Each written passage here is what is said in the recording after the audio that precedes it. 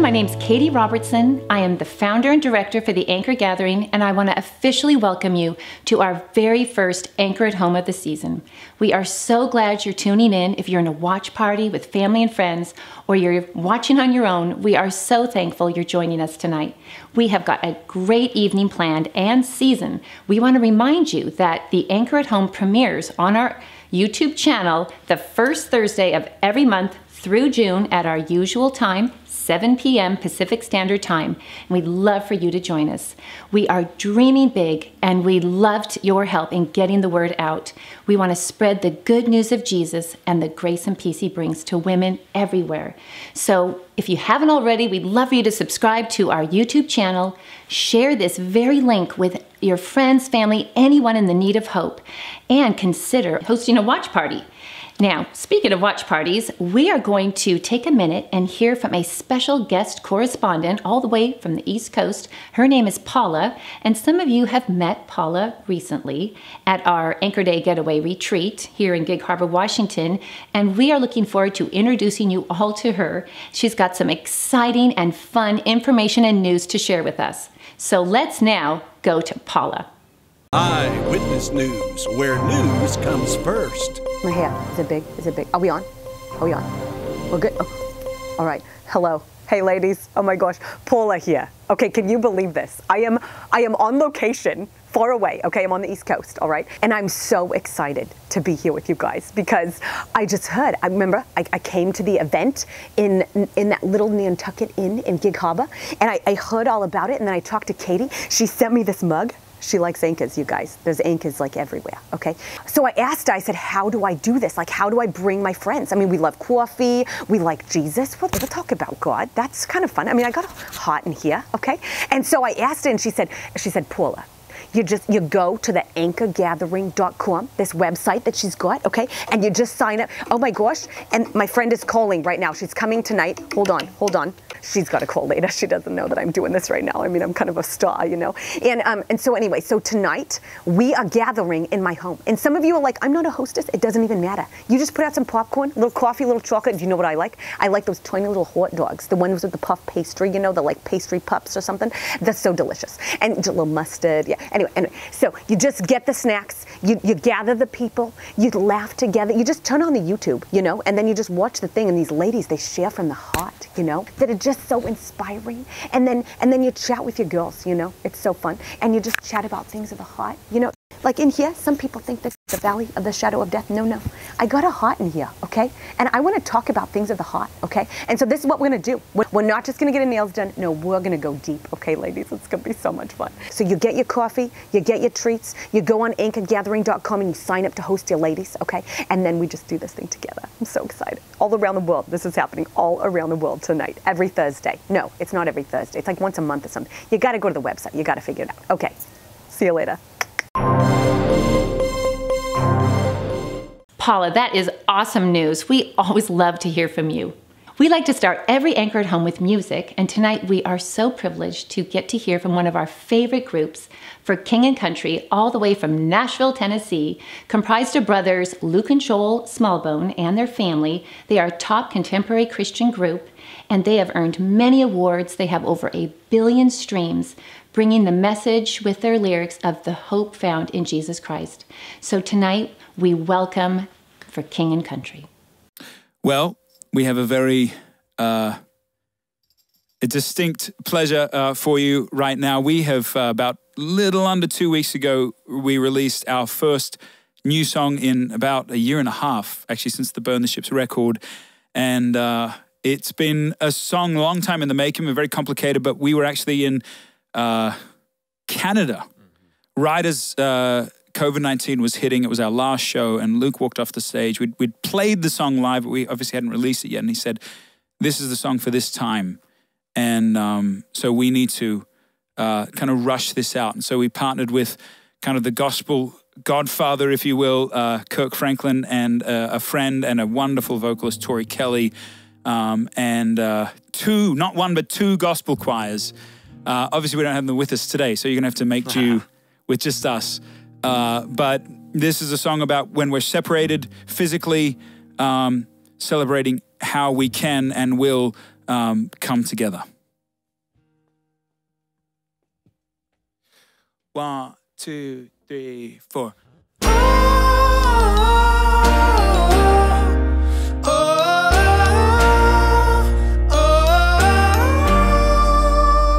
This is for the busting hearts. This is for the question marks. This is for the outcast soul, lost control. No one knows. Sing for the can't go back. Sing for the broken past.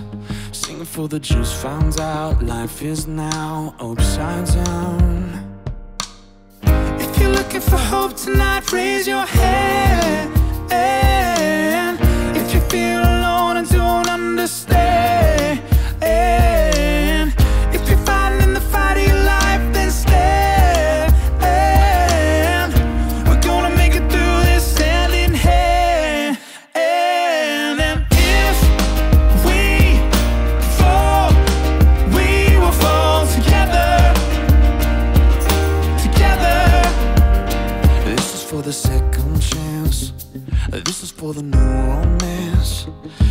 for the loves in vain overcame. It's not too late. If you're looking for hope tonight, raise your hand.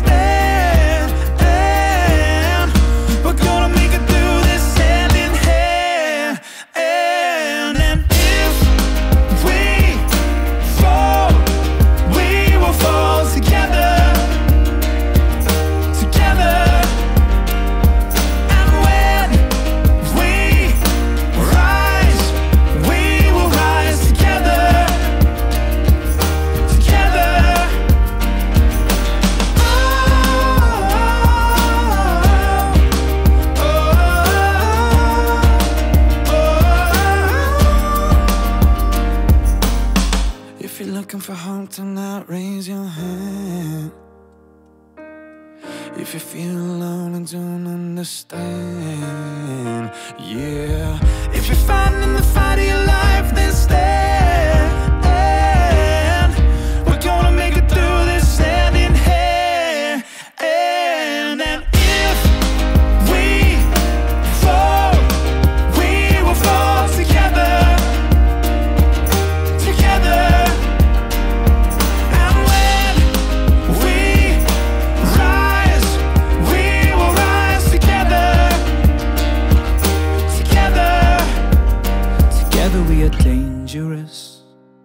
Together with our differences. Together we are bolder, braver, stronger. Thank you again for King and Country. Love the title of that song, Together. That is the theme for the Anchor at Home, gathering together in watch parties in homes across the country or on your own virtually together. We're spreading the good news of Jesus and the hope he brings. Well, at this time, we have the anchor moment, and it really is one of my very favorite times of the anchor at home. The anchor moment's a time we get to hear from a special guest a little bit about their life, about their faith journey, and about an anchor moment. And an anchor moment is a time that your faith has been grounded, where you've really seen Jesus to be real in your life. He's been your anchor. So, it's our tradition for the first Anchor at Home of the season to get to hear from one of our board members. And tonight we have the honor of hearing from a dear friend of mine. Her name is Carla Vail, and Carla has been on our board now for a few years, and she is really the one behind our branding and marketing, editing, and so much more. So thankful for all she does for the Anchor. So, welcome, Carla, into our home here in Gig Harbor, Washington. Uh, we better just get started with our first question. Okay. How about tell us a little bit about yourself? Am not native to the Pacific Northwest. I grew up in Southern California. I am currently an empty nester and I have my own interiors business. And I love um, all of the work that I do at the Anchor and all of the amazing women that I've met. Awesome. How about tell us a little bit about your faith journey? I feel really fortunate that I was raised in a Christian household. So I grew up um, going to church. I go to a different type of church now than I did when I was growing up, but I really grew up with the fundamentals of the Christian faith. And so that's really been something that's been woven through my adult life. During college and following college, I did a lot of exploring to learn whether I was. Um, a Christian kind of by osmosis, or if this was a personal choice I made for myself. And I really rededicated myself to the faith after um, really discovering that this is truly at core who I am. Very cool. Um, and so now we'd like to hear about one of your an anchor moment that you've had in your life. Yeah, I would love to share this story. Um, I've told quite a few people about this. This is one of those times where I really felt like my creator was really present in every moment. So, um, two minute backstory a very, very, very dear friend of mine lost her husband in a ski accident. And following that really turbulent time in her household, her son, who was an only child, um, really kind of his life took a little bit of a wrong direction. And there came a time where um, she made the decision that he was going to have to go away to a um, boarding school. And the boarding school was in another state. And so she and I um, had arranged for a transport company to come to her house um, in the middle of the night to actually um, pick up her son, who was not aware that he was going to be leaving to go away to um, finish high school at this boarding school, which is out of state. And I really learned a lot about how that whole process works. Um, it was a really um, really somber and scary time. But for me, now that I can tell this story without crying, um, for me, where I really saw God in this moment was she and I had really, along with a big group of women, really um, had been praying up this day that was coming. We knew we only had a few days' notice because you have to have an opening in the school for the child to go, and then you have to arrange for the extraction team that comes to the home. She and I were the only ones in the home with her son. They come in the middle of the night so that. Um, the child is surprised and they're usually asleep, so they're um, not expecting it. At about 1 a.m., she and I were praying, and we were praying over every single detail of this night that, that God would just protect her son and protect her heart and protect the whole situation. We prayed over the smallest details, Katie. You know how we always say God wants to help in the details, but then we feel like we have to pray about big issues and not small issues.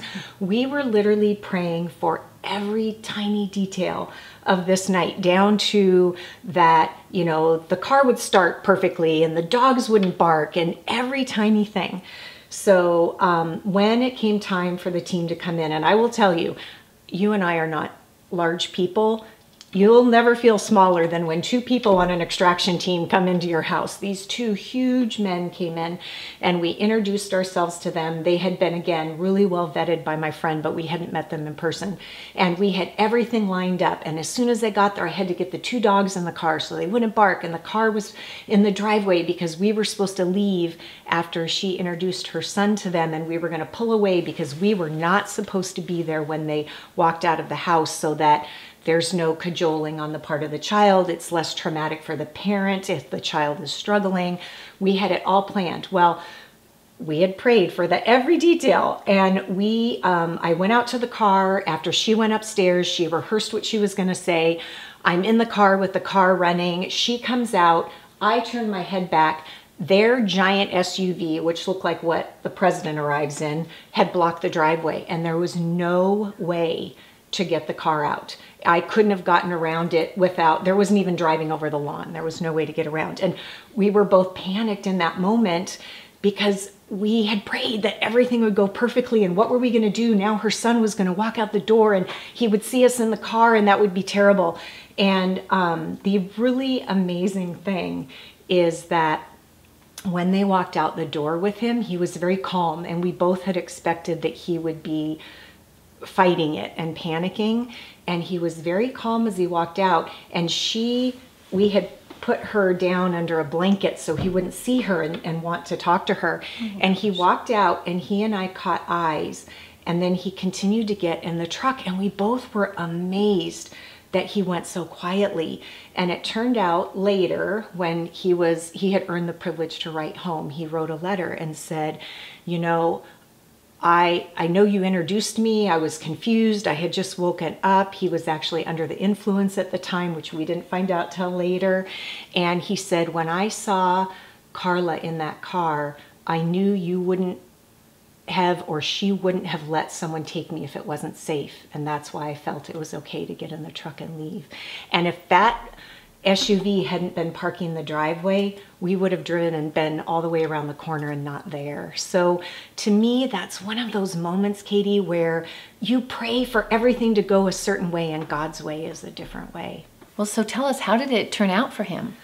So that's actually also really a God story, Katie, because he was um, out of state in the school for 15 months. He graduated high school while he was there, and he was just recently accepted on a scholarship to Seattle University, and he wow. has been clean. Um, for um, I think it's three years in August now. Yeah. Well, I just love this story and just that little detail yeah. of seeing you in the driveway in the car. Yeah. Oh. Was that little mm-hmm. moment for him of, okay, he can trust what's going on. But that God ordained that is pretty amazing. Now it's time for our drawing. And every anchor at home, we like to have a drawing for these beautiful glassybabies known in the Northwest here. They are hand blown glass votives. And this one for this month is white. It's named Hope. It comes etched with our anchor logo and enclosed inside is our anchor verse, Hebrews 6:19. We have this hope Jesus as an anchor for the soul, firm and secure. Now, there's three ways you can sign up for this drawing. You can go to our website, theanchorgathering.com. You can go to our QR code, which your watch party host will have, or you can find it in the watch party kit. And the third way is to go to our description box on our YouTube channel. So, three ways you can get your name in there. We hope you do. You've got until 9 o'clock tonight, and tomorrow morning we will announce our winner. So, good luck to you all. We hope to see your names. Well, at this time at the Anchor at Home, we get to hear a special message from a guest speaker. And tonight we are so privileged to get to hear from Sarah Hasselbeck. Sarah lives in Boston with her husband Matt Hasselbeck, former NFL quarterback. They have three children, two daughters and a son.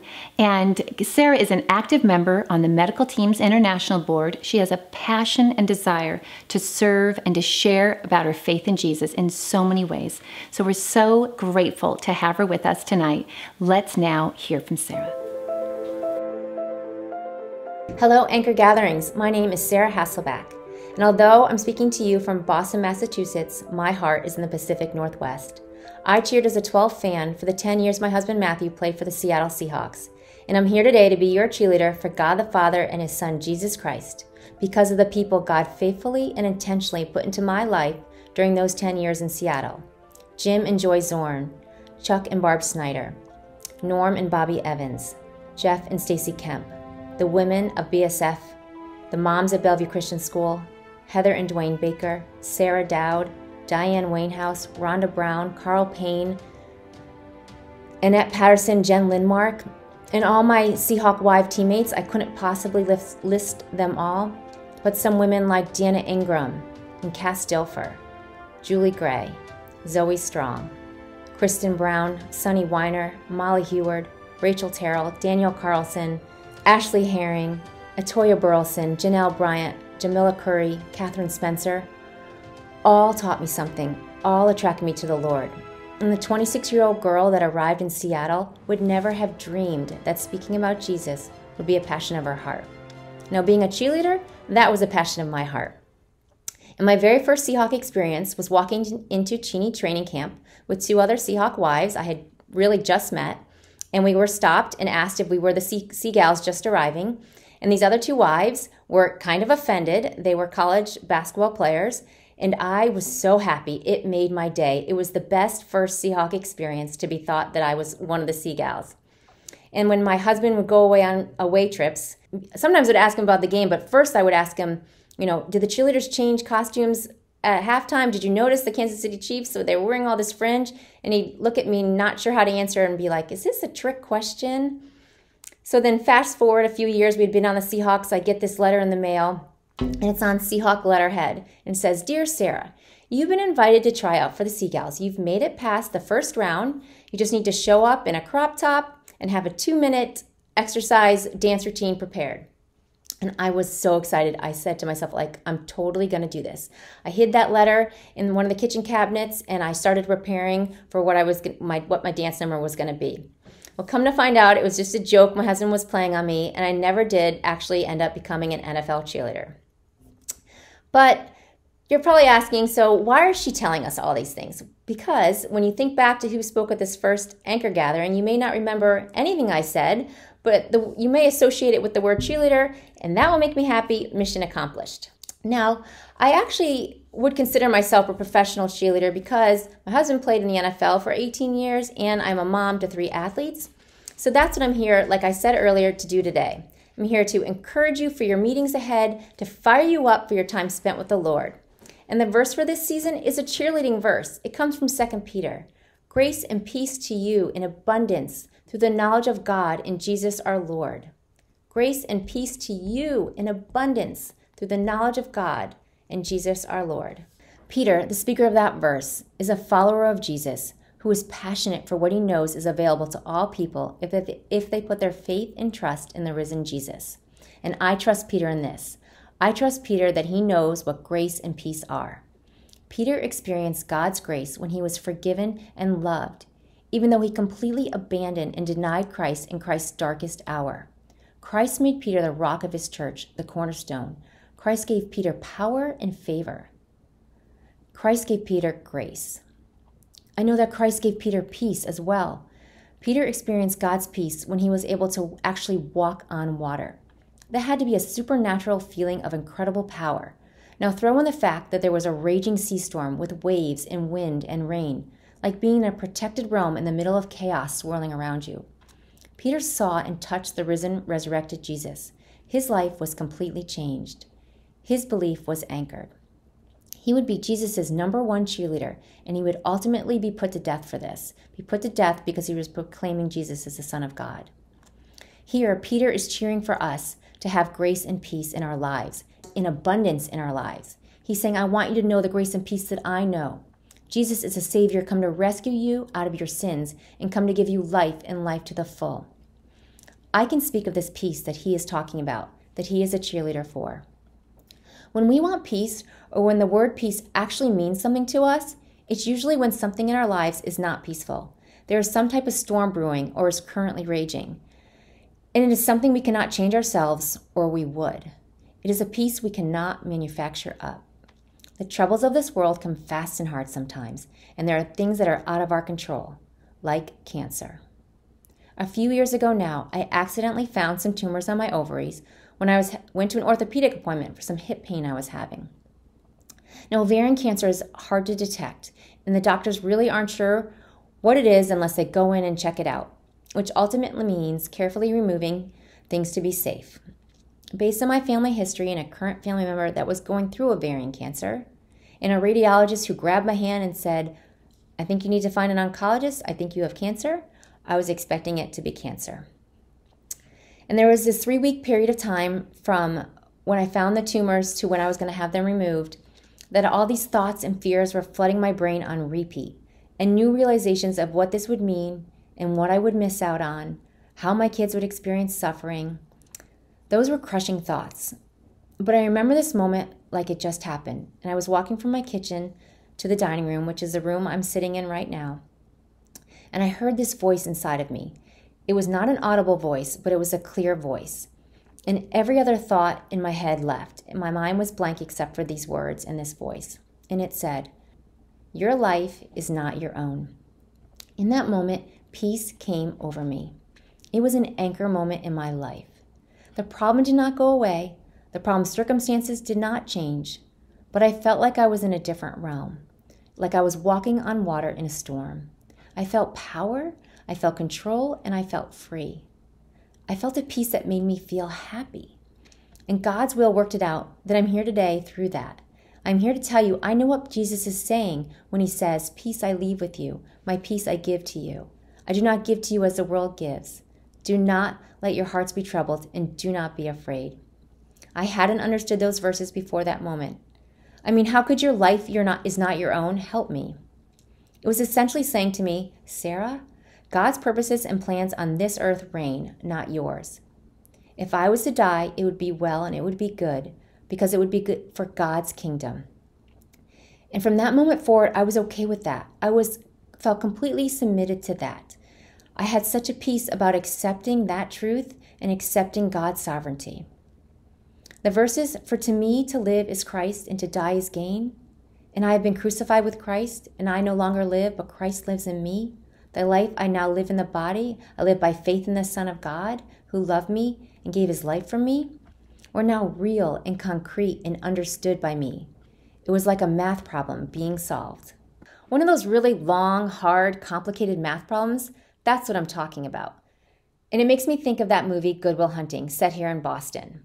Now, that movie depicts Boston so well. In that one liner from the movie, How About Them Apples? Do you like apples? Yeah. Well, I got a number.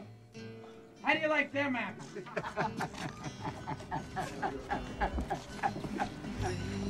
that really captures the peace that I felt in that moment and how good it made me feel. But why I'm mentioning that movie, I'm talking about the math from that movie. It was the type of math that really took time, it took meditation, took practice for things to be solved. It took help from teachers and help from friends, from people who had gone before you and solved the problem.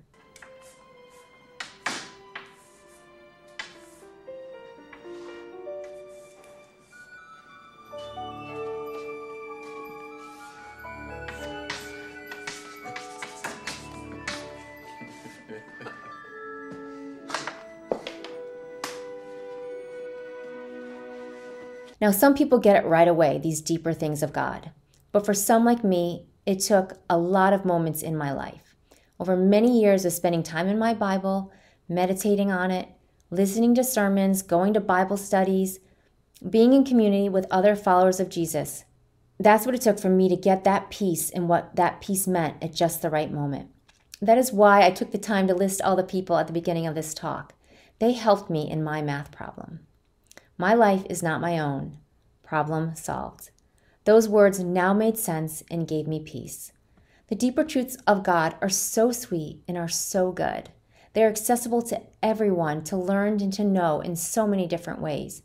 But you have to do some math work. Sit down at a desk and work out the problem. You need to choose to seek. And I'm here to be your cheerleader for coming to these anchor gatherings throughout the year. Show up. The peace you will need in your life is waiting for you. God is cheering louder than me. He's saying, Choose me, follow me, hear me. I am the Lord your God. Now, if there's anything greater than or equal to this peace I just share with you, it is grace.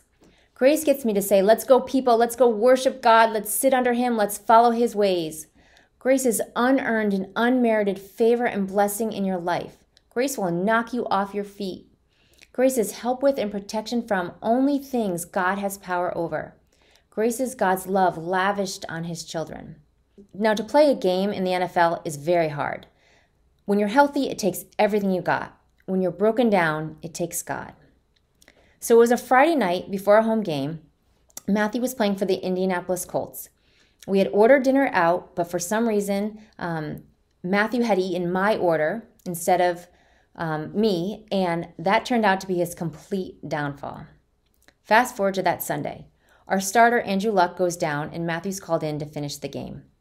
Matthew finishes the game, it goes well, but he said that at some point during the fourth quarter, he just started not to feel feel great he what hadn't made it home and i'm trying to find out where he is. I finally find him. He had pulled over on the side of the road. He was violently ill. Get him to the hospital that night. He spends that night and most of all of monday most of tuesday in the hospital having lots of miserable tests done. Come to find out he has a bacterial infection. Now it's tuesday and the coach is saying to him okay andrew's still hurt and you're going to have to play. And this happens to be a short week one of those short weeks in the nfl when you play on thursday night and we are playing the Houston Texans, our division rival, that Thursday. And on the Houston Texans is a player named JJ Watt. Now, one of my kids had downloaded a picture of JJ Watt and taped it to our bathroom door. So all week we had just been staring at his face. And who is JJ Watt? JJ Watt was the number one defensive QB sacker in the league. Pressured. JJ Watt, what a stud he is. He is, you know, the youngster out of Wisconsin now. And this is who my husband, who was at his weakest, was about to go play. Because in the NFL, if you're breathing, you're playing. I'm kidding, I'm kidding. I'm not kidding. He was going to play. So now it's Wednesday morning. We're in the garage and I'm, we're staring at each other. He has definitely lost a lot of weight. He is that gray, sallow color. He, he looks terrible. He, he is not even sure if he can get through warm ups, let alone play in the game. And we just look at each other and we say, if, if you do this, if you play, this is God. It's going to take God for any of this to go down right now. So he leaves and I watch him on, on TV. Out Indianapolis was confirmed. Matt Hasselbeck will be the starting quarterback this afternoon. And that night, I'm sitting outside on my front porch, just looking up at heavens in complete awe of God's goodness and favor and grace and kindness. Matthew played the whole game. Or all game. He curls in. The pass complete, though, to T.Y. Hilton, who has a first down. He wants a little bit more. He played great, and we won. It was it was amazing. Off the play fake, Hasselbeck looking right, throws as he's hit, and it's complete. Touchdown, Indianapolis. Coby Fleener. Now, it was amazing that he played and won, not because it was some big game or critical to our season. It was amazing because we both knew that Matthew was at his absolute weakest. And it just showed us what is so true in Scripture that people that are at their weakest in Scripture, God uses, and God is strongest in them. And it was such an example of that to us. There is no doubt that on that field that night in Houston, God's grace was on full display for us. It has come to be like that Marvel movie Endgame, playing out for me when I think back to it now. So, my son Henry and I enjoy watching the Marvel movies together. I love them. Now, you may say you're not into sci fi or action films, but these movies are just like the Hallmark Channel. Scares me a little bit. Well, being scared is a good sign. It means you're onto something. They're feel good movies, they're love stories, trust me. So in Endgame, all is lost. The enemy has amassed a huge army, and the Avenger group is looking weak and small and will no doubt be overpowered. Their defeat is all but assured. What happened? You mess with time, it tends to mess back. You'll see. Then Captain America hears, On your left, Captain, and all of a sudden there, there appears a vast army. Avengers! All around him, ready to do battle. Assemble. These were amazing warriors. You look to your left, you look to your right, and you're, you're said, Let's go. That is what we have with God an army ready, poised with the strongest power to defend us, to help us, to protect us. And I know they were as close as, on your left, Captain. We just have to call on God. That night in Houston, that game, my husband had an angel army with him on that field. The prophet Isaiah says, Holy, holy, holy is the Lord of heaven's armies. The whole earth is filled with his glory. I believe it. Jesus says, For those who love me and obey my commands, I will withhold no good thing. God's grace is available and waiting for us. I'm sharing tonight as a witness. I'm sharing as a cheerleader for the Lord God Almighty, who was and is and is to come. Grace and peace be yours in abundance as you grow in the knowledge of God and of Jesus our Savior. Amen. Amen. I would just leave you with this because music is so important to my faith experience and to how my heart grows closer to God. Please go listen to the song The Blessing by Kari Jobe in Elevation Worship. It is Peter's verse over you. It is my encouragement, my cheerleading over you. The Lord bless you and keep you. May his face shine upon you and be gracious to you. The Lord turn his face towards you and give you peace. Amen. Amen. A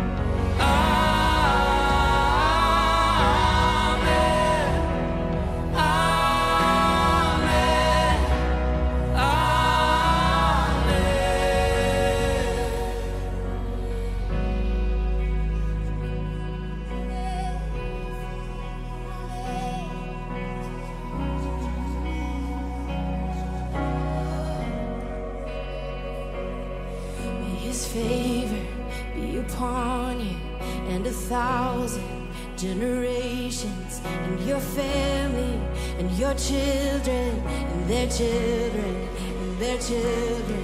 May His favor be upon you, and a thousand generations, and your family, and your children, and their children, and their children.